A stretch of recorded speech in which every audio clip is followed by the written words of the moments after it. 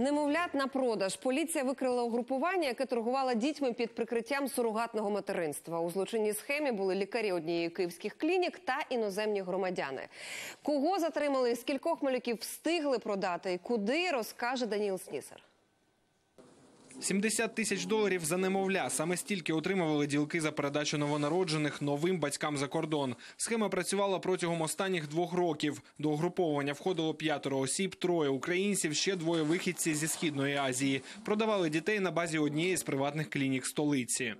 Вони зареєстрували юридичну особу, яка за адресою розміщалась на території міста Києва, та в подальшому розмістили на інтернет-ресурсах оголошення щодо надання посередницьких послуг у сфері сурогатного материнства. Після отримання замовлення ділки підшуковували жінок, які погодилися на реєстрацію фіктивного шлюбу з іноземцем. Винагорода за це від 300 до 1000 доларів. Замовники пропонують стандартно зараз е, тисячу доларів, із них половину одразу при розпису 500. Потім через рік 300 і ще в кінці через два роки 200. Ну таким чином виходить 2000.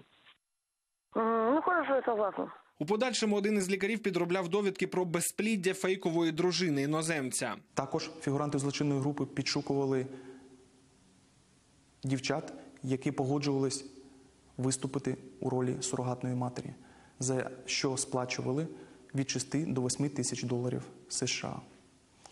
В подальшому повинна була відмовитись від дитини та надати дозвіл на її переміщення через державний кордон України. Підтверджених фактів продажу дітей за кордон 13. У поліції ж не відкидають, що їх могло бути значно більше, адже під час обшуків правоохоронці знайшли записи щодо інших клієнтів іноземців. Послугами із придбання дітей мали намір скористатися принаймні 116 громадян інших країн. П'ятьом фігурантам справи вже оголосили підозри. Їм загрожує до 15 років за гратами і конфіскація майна.